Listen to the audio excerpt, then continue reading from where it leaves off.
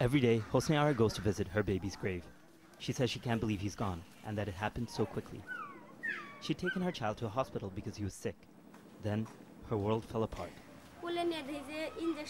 The doctors put a needle into his hand to give him an injection, and I saw with my own eyes his hand started to go dark and it moved up towards his head, and my baby screamed and then went quiet.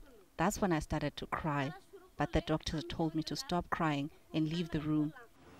I asked, Why should I? You killed my boy.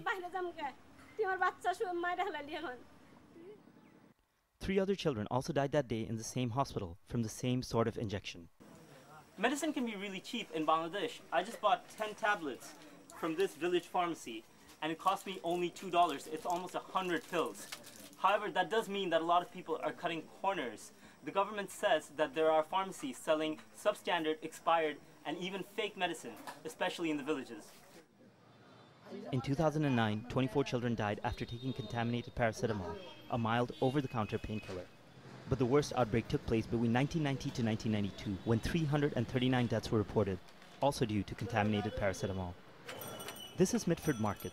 It's Bangladesh's largest wholesale medicine hub. The government has called it the ground zero of counterfeit pharmaceuticals.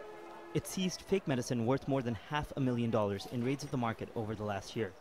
But the traders here are defiant and have threatened to shut down sales of all medicines if the raids continue. There are no fake medicines at this market. The government picks on us because they want the attention. We just sell the medicines, we don't make them. The health ministry estimates there are 16,000 unlicensed pharmacies in the country, mostly in rural areas. The government says it is trying to shut down illegal dispensaries. It's action that's long overdue, but it could save many mothers from sharing the heartbreak felt by Hosne Ara. Maher Sattar, Al Jazeera, Tangail, Bangladesh.